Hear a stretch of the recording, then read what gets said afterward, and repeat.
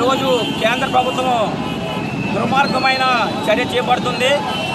విశాఖ ఉక్కు ఆంధ్రుల అక్క అని చెప్పి పంతొమ్మిది వందల అరవై ఆరులో మరి రాష్ట్ర వ్యాప్తంగా ఉమ్మడి రాష్ట్ర వ్యాప్తంగా పెద్ద ఉద్యమం చేసి ముప్పై రెండు మంది ప్రాణాలు త్యాగం చేసిన తర్వాత సుమారు డెబ్బై మంది ఎమ్మెల్యేలు ఎంపీలు అందరూ కూడా రాజీనామా చేసిన తర్వాత మరి శ్రీమతి ఇందిరాగాంధీ పార్లమెంట్లో అనౌన్స్ చేసి జనవరి ఇరవై జనవరి ఇరవయో తారీఖున నైన్టీన్ సెవెంటీ వన్లో ఈ యొక్క శంకుస్థాపన చేయడం జరిగింది.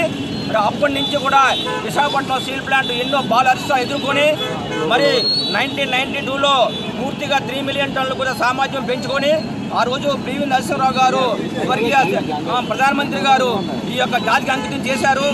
ఆ తర్వాత స్టీల్ ప్లాంట్ లాభాల బాటలో పట్టి సుమారు ఇరవై వేల కోట్ల లాభాలు సంపాదించి మరి రెండు వేల ఐదులో మళ్ళా దీనికి సెవెన్ పాయింట్ త్రీకి శంకుస్థాపన శ్రీ పివి నరసింహ శ్రీ మన్మోహన్ సింగ్ గారు చేశారు.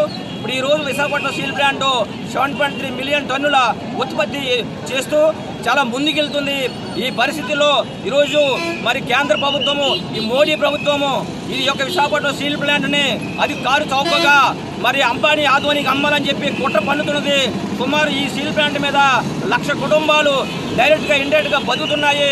ఇరవై రెండు వేల ఎకరాలు భూమి ఉంది సుమారు రెండు లక్షల కోట్ల ఒక భూమి వాల్యూ ఉంది ఇది.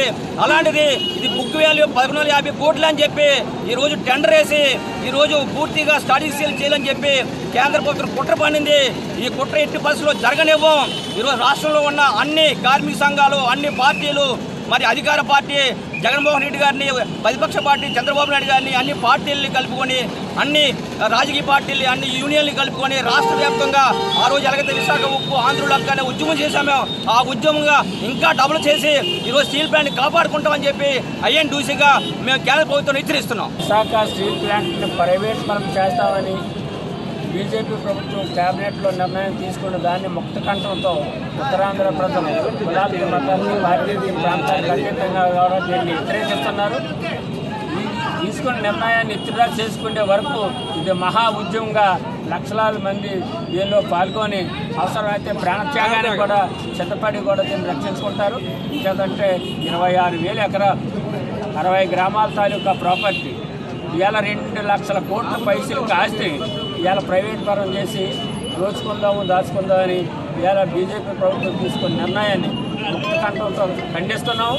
దీన్ని వాళ్ళు తీసుకున్న నిర్ణయాన్ని ఇతర అయ్యే వరకు కూడా ఇది మహా ఉద్యమంగా.